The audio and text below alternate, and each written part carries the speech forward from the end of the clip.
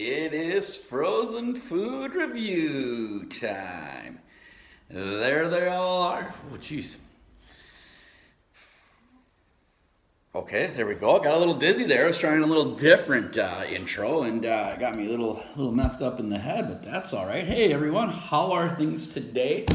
Today we are we're gonna try something that I didn't maybe want to do, but but we're gonna do it. Um, we had this chicken fajita burrito bowl, which was absolute uh, garbage, really. I mean, it's last place. It's last place for a reason, and and I'm like, not all chicken fajita burrito bowls or whatever can be that bad. So I did have another one here uh, that I just I bought like 20 of these things, put them all in the in the freezer. So this is what we had before. It's our last place deal.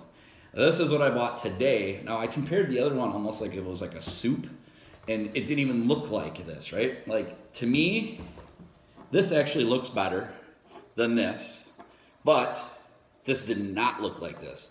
This here, you can see it. It actually look look at. There's some big chunks of chicken. I mean, it actually looks comparative to you know what you see here.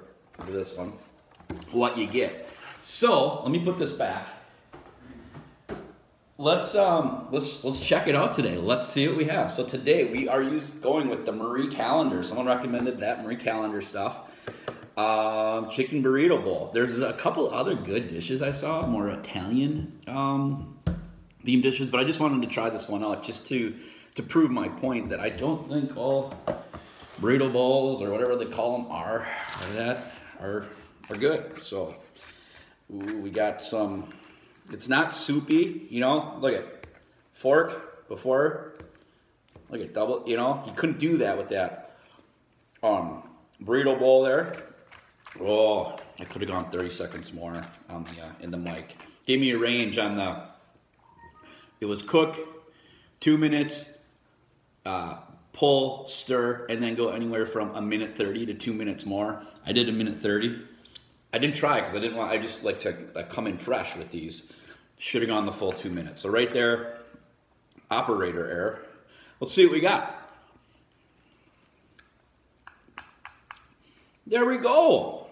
Much, much better than you know what. Okay.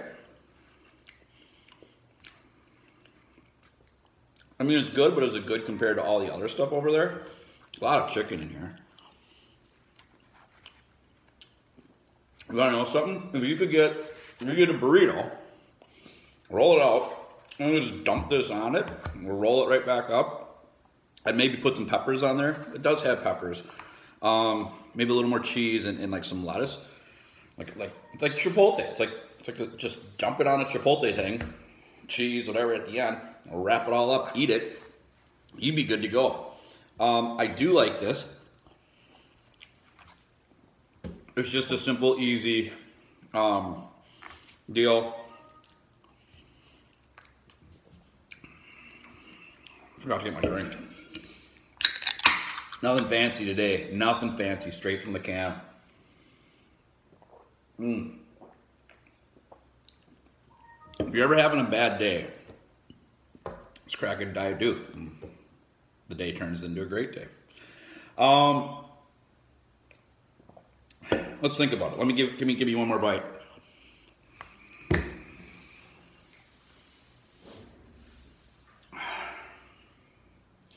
You know, it's it's it's it's good. It, there's no way it's going on this side.